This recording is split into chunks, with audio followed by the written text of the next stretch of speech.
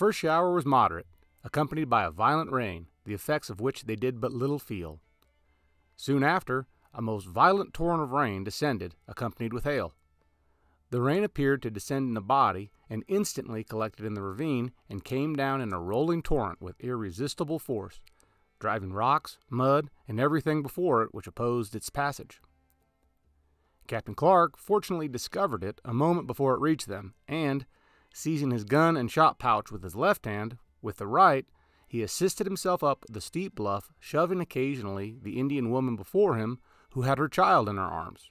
Charbonneau had the woman by the hand, endeavoring to pull her up the hill, but was so much frightened that he remained frequently motionless, and, but for Captain Clark, both himself and his woman and child must have perished.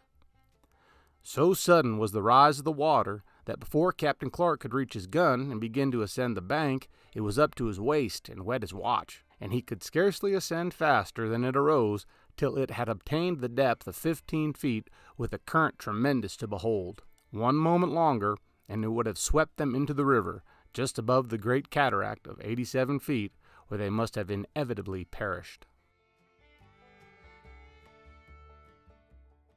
In the evening, the men in two of the rear canoes discovered a large brown bear lying in the open grounds about 300 paces from the river, and six of them went out to attack him, all good hunters. They took the advantage of the small eminence which concealed them and got within 40 paces of him unperceived. Two of them reserved their fires that had been previously concerted. The four others fired nearly at the same time and put each his bullet through him. Two of the balls passed through the bulk of both lobes of his lung. In an instant, the monster ran at them with open mouth. The two who had reserved their fires discharged their pieces at him as he came toward them. Both of them struck him, one only slightly, and the other fortunately broke his shoulder. This, however, only retarded his motion for a moment only. The men, unable to reload their guns, took to flight. The bear pursued and had very nearly overtaken them before they reached the river. Two of the party betook themselves to a canoe, and the others separated and concealed themselves among the willows, reloaded their pieces, each discharged his piece at him as they had an opportunity. They struck him several times again, but the guns served only to direct the bear to them. In this manner, he pursued two of them separately so close that they were obliged to throw aside their guns and pouches and throw themselves into the river, although the bank was nearly twenty feet perpendicular. So enraged was this animal that he plunged into the river only a few feet behind the second man he had compelled to take refuge in the water, when one of those who was still remained on shore shot him through the head and finally killed him. They then took him on shore and butchered him when they found eight balls had passed through him in different directions. The bear being old, the flesh was indifferent, and they therefore only took the skin and fleece. The latter made us several gallons of oil. Last night was excessively cold. The mercury this morning set at 40 below zero, which is 72 degrees below the freezing point. We had one man out last night who returned about 8 o'clock this morning. The Indians of the lower villages turned out to hunt for a man and a boy who had not returned from the hunt of yesterday, and borrowed a sleigh to bring them in, expecting to find them froze to death. About 10 o'clock, the boy, about 13 years of age, come to the fort with his feet froze and had laid out all last night without a fire with only a buffalo robe to cover him. The dress which he wore was a pair of antelope leggings, which is very thin, moccasins. We had his feet put in cold water, and they are coming too. Soon after the arrival of the boy, a man come in who had also stayed out without fire, and very thinly clothed. This man was not the least injured. Customs and the habits of those people has answered to bear more cold than I thought it possible for a man to endure.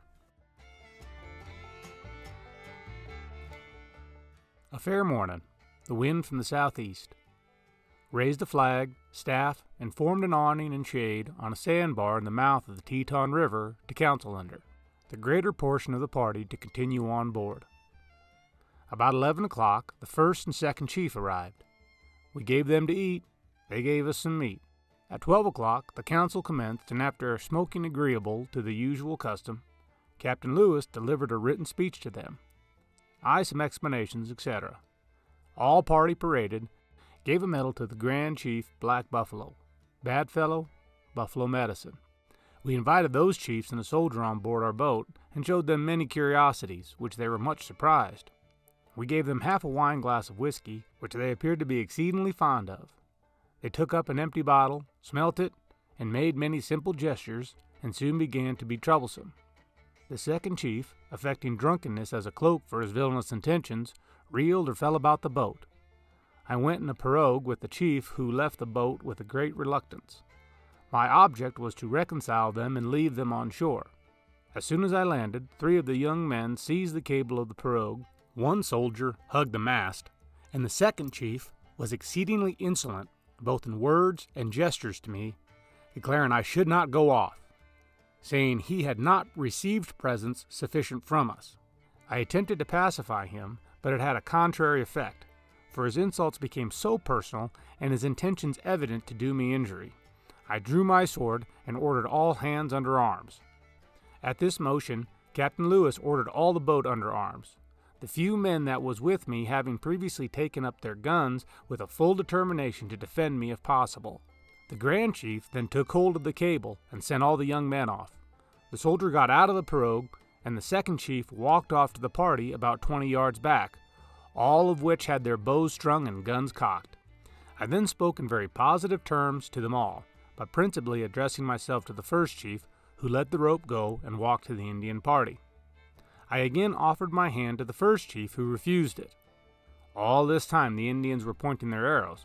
I proceeded to the pirogue and pushed off, and had not proceeded far before the first and third chief and two principal men walked into the water and requested to go on board. I took them in, and we proceeded on about a mile and anchored near a small island. I call this island Bad Humored Island. Captain Clark set out this morning to go ahead with six hunters. There being no game in these mountains, we concluded it would be better for one of us to take hunters and hurry on to the level country ahead and their hunt provide some provision, while the other remained with and brought on the party. We suffered for water this day, passing one rivulet only. We were fortunate in finding water in a steep ravine about a half mile from our camp. This morning we finished the remainder of our last colt. We dined and souped on a scant proportion of portable soup, a few canisters of which, a little bear oil, and 20 pounds of candles from our stock of provisions, the only resource being our guns and pack horses.